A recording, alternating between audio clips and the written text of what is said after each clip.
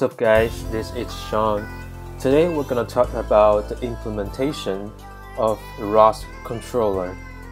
After you finish my previous tutorial, you will have a controller.cpp in your beginner source file. So remember in tutorial 6, we played with a built-in robot, which is Turtle, and we're gonna reuse that today.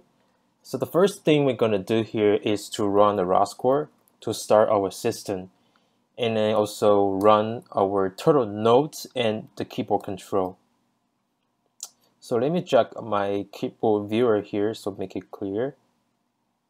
So if you keep pressing the up button, the turtle will keep moving forward and if it hits the boundary, uh, there's a warning shows up on the terminal says, oh no, I hit the wall.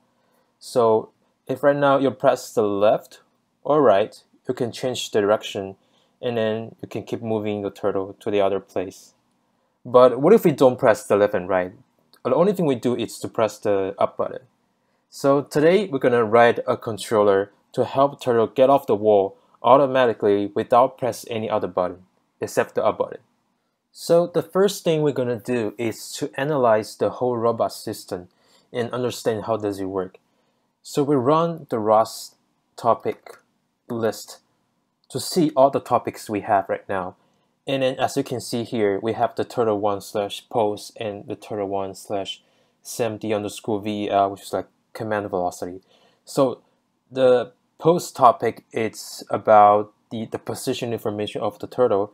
And then the command velocity uh, contains the movement information. So here we have an idea. We listen to the position topic to know where the turtle is and determine whether it should change direction. If it does, send the command to the uh, command velocity topic and then change direction. After we clear our strategy, the first thing we're going to do is to listen to the position topic. So we need to update our topic name in our subscriber from the chatter to the turtle1 slash pose. After that, we need to change our callback function accordingly, especially for the input argument. Uh, the type of it is not the standard message anymore. So in order to know what kind of message we received, we need to look deep into this topic. So we need to do ROS topic, info, the topic name. And then we can see here the type is the turtle sim slash pose. So here we copied this message name and then inject into our code base. And then we also need to change our type for the input message here as well. Then we need to know what's the message it looks like. So we copied the message name and into ROS message show and here you can see the uh, the property of this uh, message is like x, y, theta, linear velocity and angular velocity. So I think the only thing we need right now is just the x and y, which is the coordinate information. Let's print out what we have inside this message.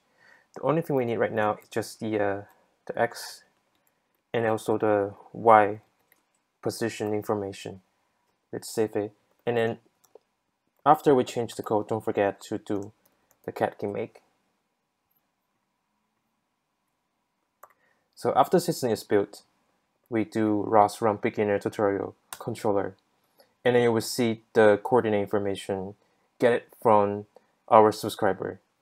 And then uh, let's try to turn this off and then turn it on again.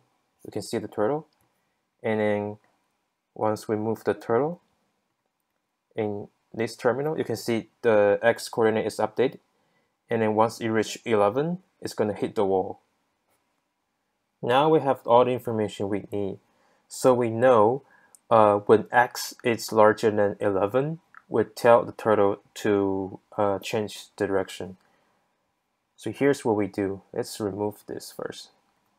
And then if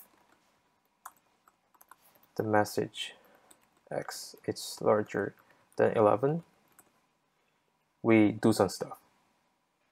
So the next thing we're going to do here is to trying to understand what it's inside the our target topic. So let's, let's do a topic list. And then we need to see what is inside the turtle one command velocity. So let's do top last topic, info. And we can see here uh, the type is the geometry message slash twist. And then the subscriber is Turtle Sims. And then there's the one publisher, which is the Teleop Turtle, which is this keyboard control. So that's why the keyboard control can control the turtle node.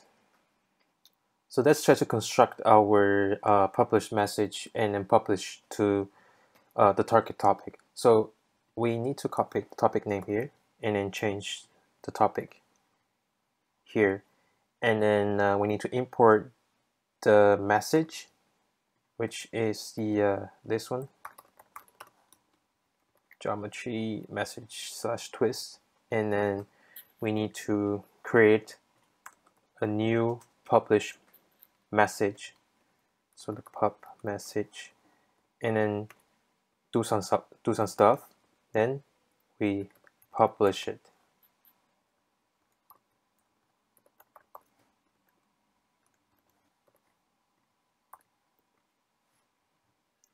So before we add any code to the to-do, we need to understand how is the uh, this message looks like. So we copy the name and do ROS message show. And we can see there's two sub uh, objects within there. One is the linear and the other one is the angular. Since we're gonna change direction, we're gonna use the angular. And then we're gonna turn that use the z axis. The reason we update the z value is because uh, we're on the top of the turtle and if we look down of that if you apply the angular speed on the z-axis that the turtle can just turn around on the platform which has the x and y. Let's update the z value. So here we have the, the public message dot angular dot z equal to a number. Since the unit of the z is the uh, the radian so we just give it 1 pi and then don't forget to change the topic type here as well. Needs, needs need to be changed to the geometry message twist. And let's save it. After that, let's do the catkin_make to build our project. So let me have my keyboard viewer here again and then let's try to build our controller and then let's turn, uh, turn this off and run new turtle. And moving forward and forward and automatic take turns and boom we save the turtle. Let's do a quick recap about what we just did. So first the turtle node sends the position information into the turtle sim slash pose topic and then we use our controller to capture that information and then we're trying to communicate with the geometry message twist to send off another uh, velocity related information to tell the turtle to change the direction.